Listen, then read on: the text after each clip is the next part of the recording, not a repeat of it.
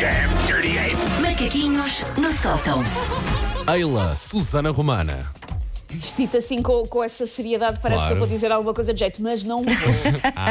Não deixem as pessoas ir ao engano, Ok, ok. pois é mais doloroso para toda a gente. Bom, eu sei que o tempo não tem estado, não tem estado espetacular, Ah, não está assim aquele tempo incrível, mas eu sinto que depois de tanto tempo trancados em casa, nós estamos prontos para viver esta primavera ao ar livre, mesmo com o risco de levar com granizo na nuca com força. Ah, sabes que o que me preocupa não é levar com o granizo, é levar com outra coisa Eu qualquer. também Levar estou com pessoas. com o resto. Não, por isso sim. mesmo eu, eu, eu, ahm, eu estou sempre a rezar para que esteja mau tempo no fim de semana, porque a minha família não se importa de passear à chuva. Pois, E então assim vamos sozinhos. pois, pois, pois, pois. Ahm, mas pronto, temos visto muitas famílias a passear, umas com mais cuidado, outras com menos, mas ah, depende dos casos. Mas sempre, independentemente do caso, com a convicção de pessoas que já estavam fartinhas de só fazer o trilho sala-cozinha. E por isso hoje, em homenagem ao processo de desconfinamento em curso e em homenagem a esta primavera a quem eu estou a tentar dar graxa para ver se ela se porta melhor, vamos fazer a lista de tipos de famílias a passear. Ok, ok. Isto é um gosto grau de disso. Adoro rebuscado. listas. Ok. É, E isto é o grau de rebuscada em que já vou as minhas listas, Sandra. Já foi muita lista. Bom, a primeira família são os Larredute. Os. Olha, que são bem simpáticos com a minha família, lá reduto. Segue.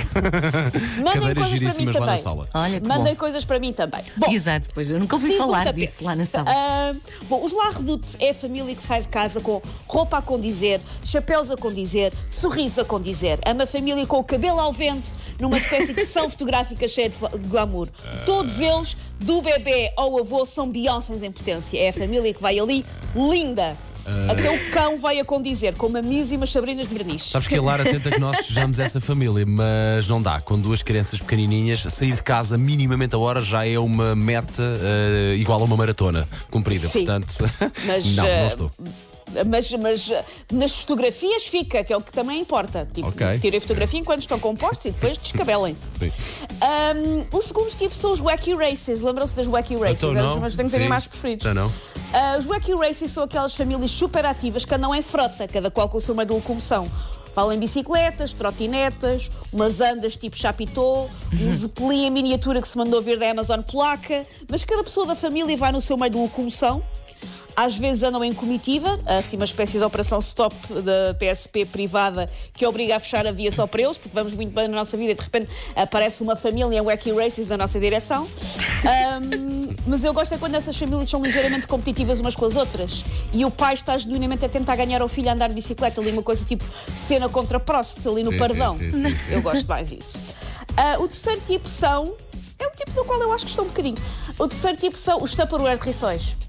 Ok, ok. Os Tupperware de rissóis, independentemente da hora, do sítio ou do contexto, querem é comer, estão sempre em modo piquenique. Não interessa onde é que estão, estamos sempre em modo piquenique.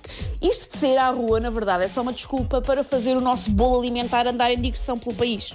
Ah, os iniciantes levam uns pãezinhos de leite mistos, uns pacotinhos de sumo, mas os experts já têm logística oleada para fazer um porco do espeto debaixo da palma do pavilhão de Portugal, ali na Expo. Ah, eu era assim com os meus pais. é- Era. Agora, com os meus filhos vou alternando. Às vezes assim, outras vezes nada. Não há nada, nem uma aguinha. Não, Não, aguinha- não. a- água, e, água e uma fralda e uns, uns Kleenex, tem que, tem que, umas toalhitas tem que haver. não e um pacote de bolachas. Paulo. Diz, diz. Não comas os Kleenex. Não, Quer dizer, se não houver mais nada, às vezes há os que cheiram a fruta. Às vezes a fome é tanta. Sandra, quando era com os nossos pais, também te acontecia teres dado tipo dois passos para fora de casa e já estás a pedir comida? Ou era só eu? Ah, não, por acaso não, não pedia assim muita comida. Ah, às vezes até ficava assim um bocado aborrecida, aborrecida com a minha mãe porque ela perdia montes de tempo na cozinha e eu queria sair mais cedo, mas ela estava ainda a fritar os rissóis e estava atrasado o Exatamente. lanche. Eu, eu se via coisas a ser fritas, duas- dois segundos depois de sair de casa já queria Já estavas a pedir. Nos dias de hoje, o que acontece lá em casa é uma pessoa ah, sai de casa, dá dois passos e sim volta para casa porque uma delas tem que obrigatoriamente ir à casa de banho. Isso Pois sim, é. isso não há a menor Pois é. dúvida, ok. Pois é. Ok. Por ma- mesmo que tu tenhas perguntado 15 vezes antes. Óbvio, óbvio. E, nessa- e dessas vezes que elas saem de casa para voltar à casa de banho, o que é que elas têm vestido? Umas jardineiras, que é a Obviamente. pior coisa É, pá, para pois ir à é, casa de banho. pois é. Mas pronto, desculpa, isto já é um trauma que eu tenho.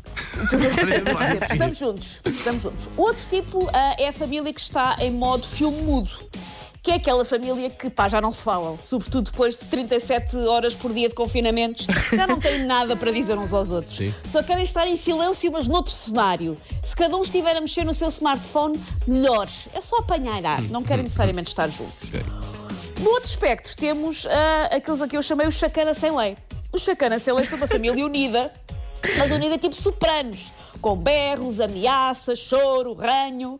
É impossível não dar por eles, porque são tão intensos que parece que estamos numa daquelas peças de teatro interativas nas quais nós bem queremos estar na nossa vidinha, mas eles obrigam-nos a participar. Como se fosse um clã. Sim, sim, sim. Ok, sim, ok, sim. ok, ok. Como é- Um gangue. A palavra nem é clã, é gangue. Ok, ok. Ahm, nós acabamos por estar envolvidos com a vida daquela família, mesmo sem querer. Ah, sabemos que a Leandra arrotou na cara do Flávio e agora Ai, está meu castigo Deus. sem TikTok. E por último, ah, a família que são os eucaliptos. Os eucaliptos são uma espécie invasora que quer o espaço todo só para eles. Seja na praia, no parque de merendas, na esplanada, conseguem tomar o território com as suas tralhas e a sua impressionante capacidade de estar em todo lado ao mesmo tempo e impedir todas as outras espécies de terem um cantinho só para elas. Irrita-me um bocado esse tipo de família. Sim, sim, sim, sim, sim. E na praia? Só rouba- roubar-lhes coisas. E Sandra Ferreira, não toques aí nesse assunto de praia e estender as toalhas de praia Não ocupar é? a praia toda. não, não são praias, são lençóis. Sim, lençóis, ainda não chegar. e este ano vai ser outra vez um ver se te havias. Bom, Susana Romana, parabéns mais uma vez. Conseguiste dissecar aqui ah, as famílias. Sim, senhor. Amanhã podes tipos. voltar. Sim, senhor.